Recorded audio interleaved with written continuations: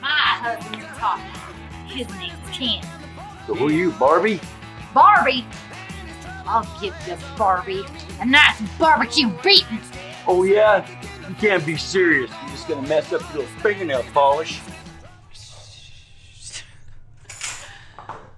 Oh, look at this. Somebody made supper. Little independent man.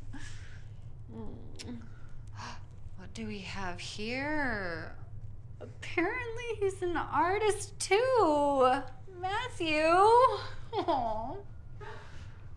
Well, you might want to work on those skills, huh, bud? It's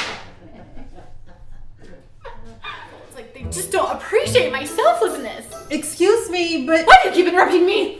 well, for one thing, you're supposed to be coaching me. Anyways, that'll be $250. Will that be cash or credit? Excuse me? Cash or credit? You seriously trying to charge me for this? You heard what I said about the rent. This place won't pay for itself.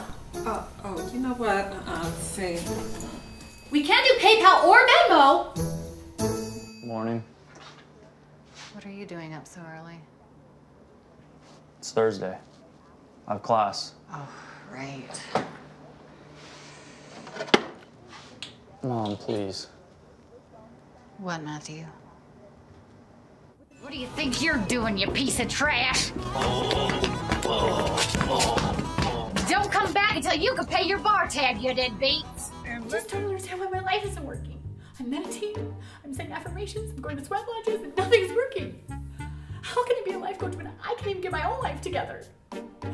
I'm just not qualified to help anyone. I don't even know what I'm doing. Oh, yeah, yeah, I know you're busy. No, no, it's fine. I have a client anyway. Modeling in Milan, Paris, shooting commercials in Los Angeles.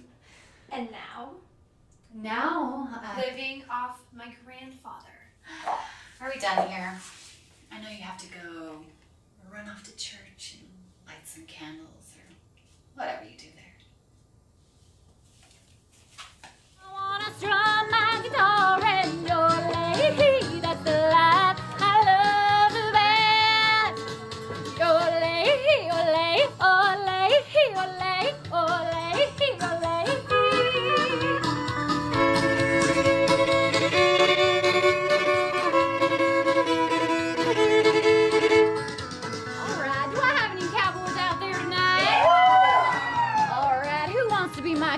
sweetheart.